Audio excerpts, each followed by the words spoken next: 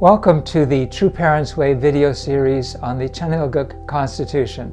I'm Tyler Hendricks. This is episode 7 The Noblest and Most Generous Model of Government. Father Moon said that true love brings about spiritual order, peace, and happiness.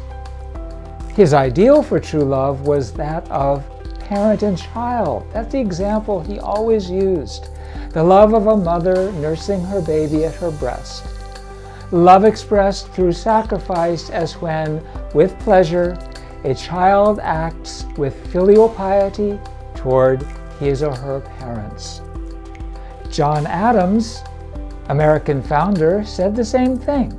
The noblest principles and most generous affections of our nature bring about the noblest and most generous models of government.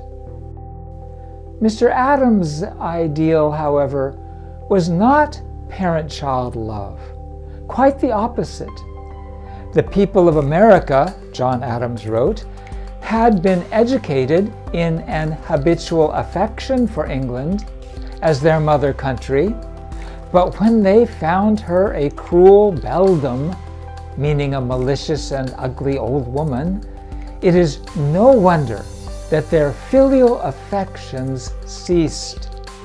Adams said that this radical change was the real revolution. It's in his writings. Thus, parent child love went to America's back burner. It took true parents to bring it back. They conquered false parental love and establish the position of true parents, not just in the family, but in the tribe, the nation, the world, and the cosmos. The leadership of true parents is a radical reversal of the way of this world.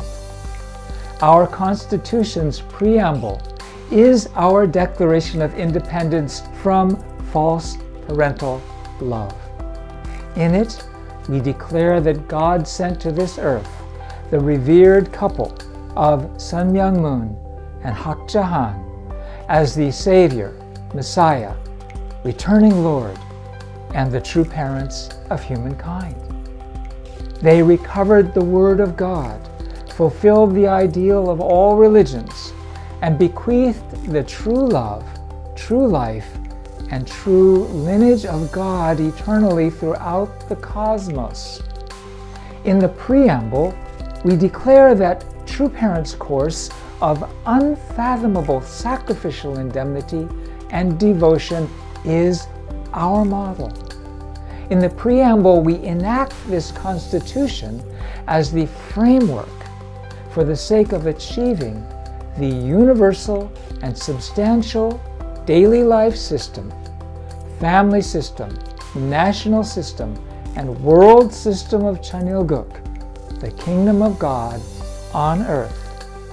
This system is the law, the norm, and the guideline for ideal families who attend God and true parents with love that transcends the barriers of religion, national borders, race, gender, and culture. And just as the American Declaration concludes with a pledge, this preamble concludes with our pledge. We'll explore that next. Thank you for listening. We'll continue next week.